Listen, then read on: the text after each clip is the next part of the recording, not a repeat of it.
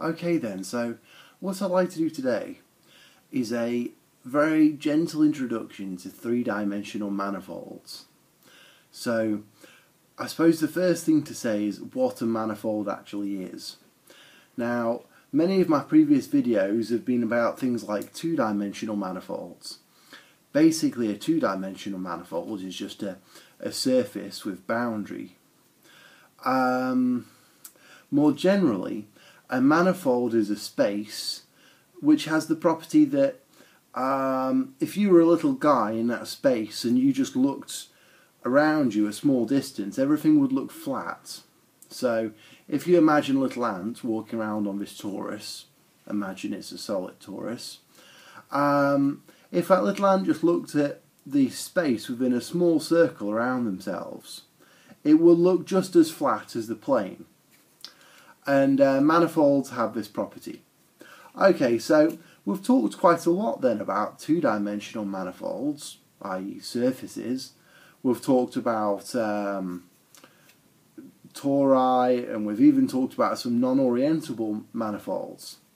But what I want to do today is talk about three-dimensional manifolds.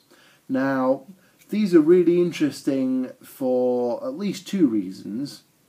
One reason is because they're fundamentals of physics, I mean, essentially the universe is a three-dimensional manifold.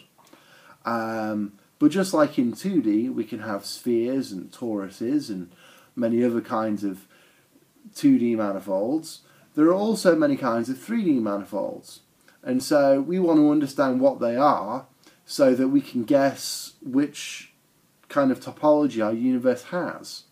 I mean, it's not immediately obvious that the universe is flat. It could be that if you go off in a rocket ship um, away in the universe and you fly far enough, you end up going back to where you started from. Mind boggling as that sounds. Uh, if the universe is the right kind of free manifold, it really could be like that.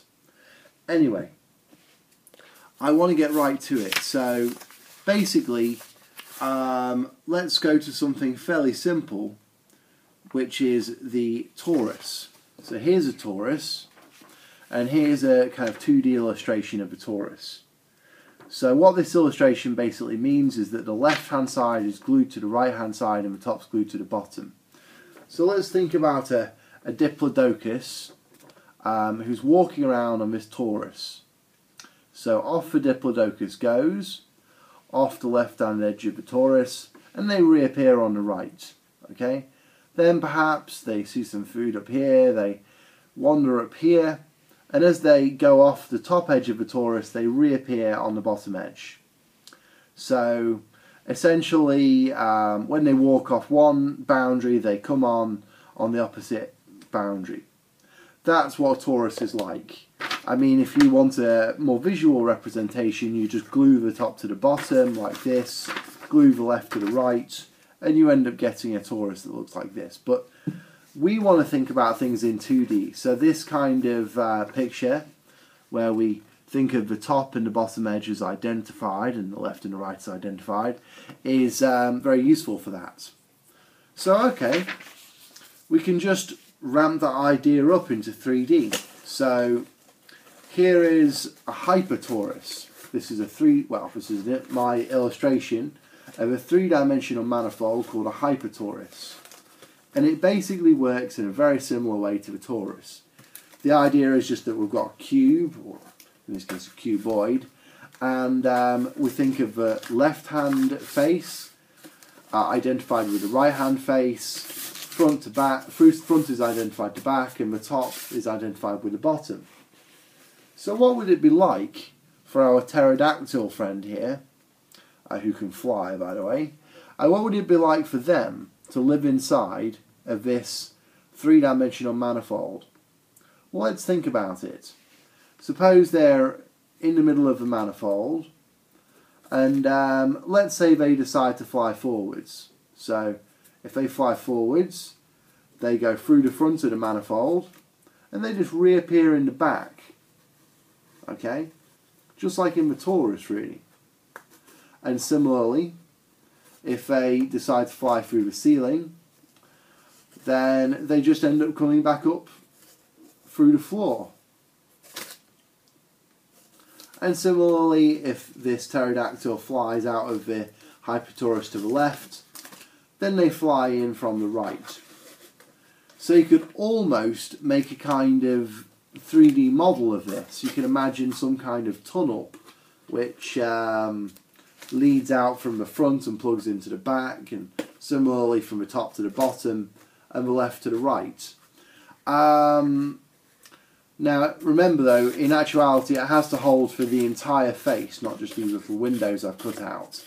But um, you can see that basically all the Hypertorus is is just a cube with opposite faces identified, so that if you go off one face, you come on, you come back into the uh, manifold from the other face. Um, and there's actually some really fascinating software, um, which is um, which you can use to visualize this. I want to just say a, a sort of shout out to I think his name is Jeffrey Weeks. Certainly his surname is Weeks, and he wrote a wonderful book called The Shape of Space, and I'm really borrowing a lot of ideas here from that. And he also made some fantastic software that you can use to actually visualize um, what it would be like to be living in some of these 3D manifolds. Okay then, so let's get on to some more interesting kinds of manifolds. So um, once again, before I go into 3D, let me go to 2D. So I want to talk about the Klein bottle now. You might have seen this if you watched some of my earlier videos. So the Klein bottle is pretty similar to the Torus in the sense that the top is glued to the bottom like a cylinder. But um, it has this difference that um, like there's a kind of twist because essentially it's supposed to identify this arrow going in this direction with this arrow going in this direction. What that means practically for the Diplodocus is that if they walk off this um, this boundary like this, they end up coming back on here because they've actually gone through some kind of twist to get there. In fact, when they come back in from the from this side, they're actually going to be kind of inverted. So if the heart was on the right side of the body before, it'll be on the left side of the body afterwards, and so on. But it's okay for our Diplodocus friend because all they have to do is um, do another traversal of this surface and they end up going back the right way around. This is kind of like what you see in a Mobius strip. Anyway, things aren't quite so disorientating for the Diplodocus if they decide to walk up because in this kind of direction the Klein bottle is pretty much just like a torus if you go off the top, you just come out at the bottom at the same relative place, and nothing strange happens to you. So essentially, you can think of a Klein bottle as a sort of twisted torus, if you like, um, and it has a property that if you go off the right hand side at the top, you come out of the left hand side at the bottom, and so on. So, is there an analogy in three dimensions? is there a kind of hyper Klein bottle? Well, yes, there is. So um, let me tell you about it. Again, I shall use my box. Um, and the thing is here that it's again it's like a torus in certain directions, and it has this twist in other directions. So just like the hypertorus, if you go out of the left hand side of this manifold, you end up coming out in the right hand side um, sort of unaltered, just like in a hypertorus. Uh, similarly, if you go down through the uh, floor, you just end up coming back from the ceiling, just like in a hypertorus. The difference is that if you go out through the front, say at the right hand side of the front, then you end up coming back at the uh, left hand side of the front. So um, there's a kind of twist here that you've gone through. Um, well, there's a kind of twist in the connection between the back and the front, meaning that anything that goes through um, that, that exits this this cube on the right hand side ends up entering it on the left hand side.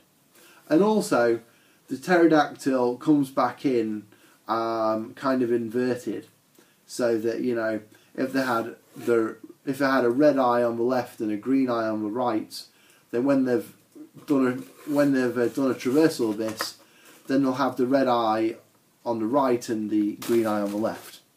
So um, you know that's a quite a funny world to be living in. It'd be very interesting if our universe had a shape like that.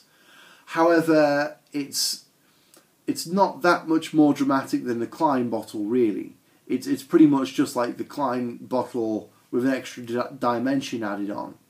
So a good question then is, are there any truly new kinds of behaviour that we can see happening in a three-dimensional manifold that we couldn't see happening in a 2D manifold? And the answer is an emphatic yes. So um, I'm just going to show you one example today.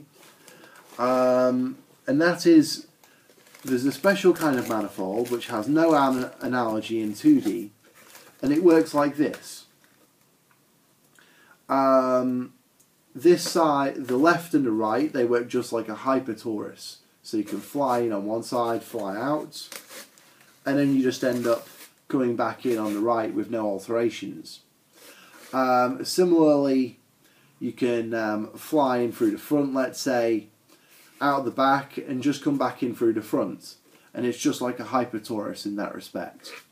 So essentially, all that's happening here is just that the uh, right face is identified with the left face, front face identified with right face. The difference is what happens when you go through the ceiling. So when you go through the ceiling of this three-dimensional manifold, what happens to you is that you actually come back from the other side with a 90 degree twist. Okay? And so if you fly through again, you end up coming back in with a 90 degree twist. And if you do it again, another 90 degree twist. And if you do it again, you end up coming back just like you started. So basically, this kind of manifold, um, the left and the right are identified sort of, you can think of a kind of tunnel or something connecting them.